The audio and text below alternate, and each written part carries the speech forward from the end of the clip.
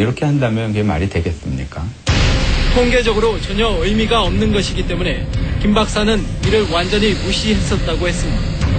김 박사는 이후에도 에너지워터로 30명의 대장암 환자를 대상으로 2차 실험을 했지만 항암 효과는 없었다고 말했습니다. 역시 보고서에 이름이 올라 있는 고려대 의대를 찾아가 봤습니다. 보고서 내용의 거의 3분의 1을 차지하고 있는 고려대 의대 연구 결과는 이교 박사의 강연에서도 단골 메뉴로 등장합니다.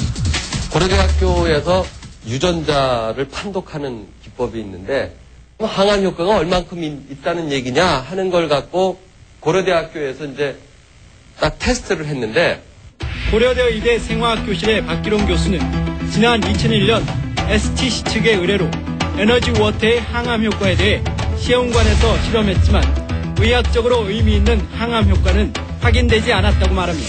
다만 에너지 salt를 넣었던 시험관에서는 20, 30% 정도의 암세포가 사라지는 암 증식 억제 효과가 나타났습니다.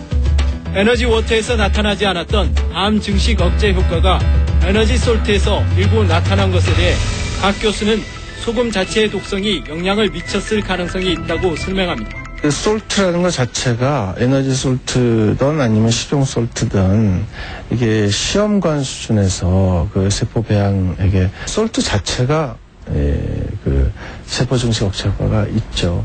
어, 그 당연히 이거는 염 농도가 달라지니까요.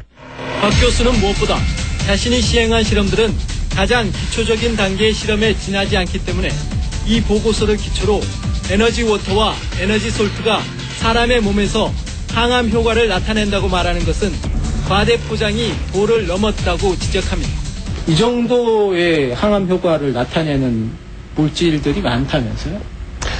어, 그렇죠. 소위 이제 뭐 항암 효과 있는 건강식품으로 알려져 있는 뭐 당근 주스, 또 녹차, 또 파이버 함유 음료 그런 것들이 그런 항암 효과가 이제 학문적으로 이렇게 검증이 돼 있는 예, 그런 식품입니다. 발모 효과에 대한 ST 측의 선전도 사실을 크게 왜곡하고 있습니다. 저희가 고려대학교에다가 이거 임상을 의뢰했어요. 머리 나는 실험을 하는데 결과가 65%가 나왔어요. 머리 나는 확률에 대해서.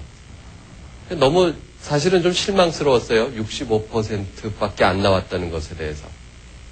그래서 다시 하자.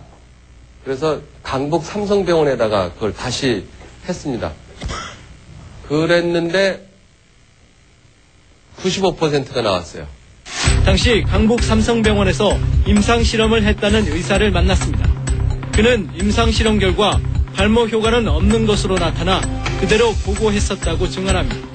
95%에서 머리가 났다라고 하는 거는 전혀 저도 뭐 처음 듣는 얘기인데 에, 그쪽에서 데이터를 조작했을 수도 있고 어, 저도 뭐 그 회사하고 연락을 뭐 해보지 않았기 때문에 어떤 근거에서 이제 그런 주장을 하는지 모르겠지만은 전혀 사실과 다른 내용이죠. 그럼 에너지 워터의 식물 생장 촉진 효과에 대한 주장은 사실일까? 성장이 빨라져요. 콩나물 같은 거 굉장히 빨리 자라고요. 이런 뭐 양파도 굉장히 빨리 자라고요.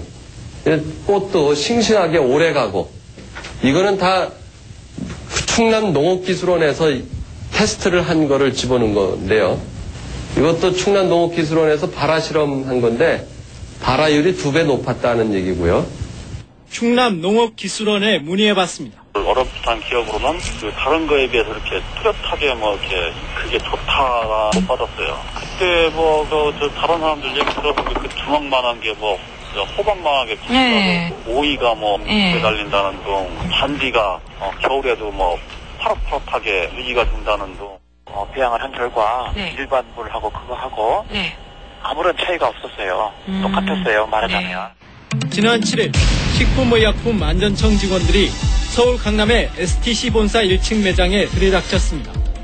식약청 직원들은 에너지 워터와 솔트의 효능을 과장한 문서를 수거하고 포스터를 떼냈습니다. 식품위생법을 위반했기 때문입니다.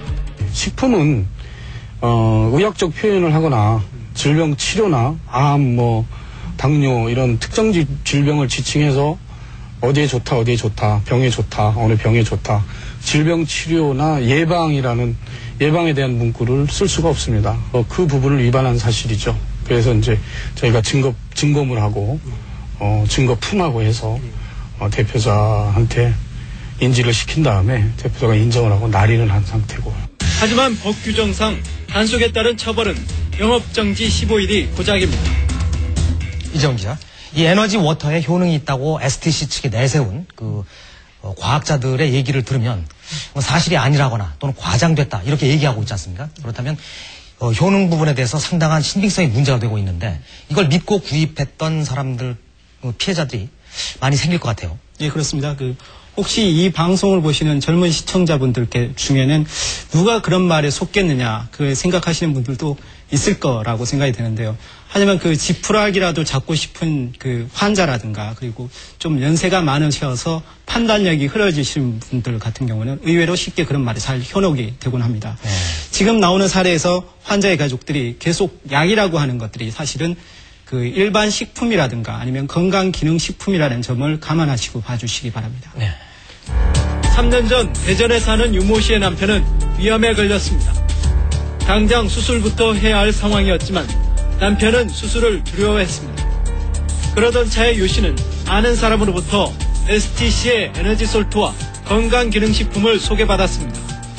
이게 항암제래요. 이게 효소 항- 항암제라 저 암 걸리는 사람 먹으면 이거 한 10개씩 먹어야 된다. 한끼 먹을 때게. 그 사람도 낫는다고 막 얘기를 하니까 저는 듣기 싫어갖고 그 사람한테 그러면 이 약을 드시고 안 나으면 본인이 책임을 질 거냐? 아 본인이 책임을 진대요. 유 씨의 남편은 그래서 병원을 나왔습니다. 그리곤 에너지 솔트와 10가지가 넘는 건강기능식품을 하루 다섯 번씩 먹어야 낫는다는 판매자의 말을 따랐습니다. 아침 밥 먹기 전에 10시, 12시 밥 먹기 전에. 또 2시에 먹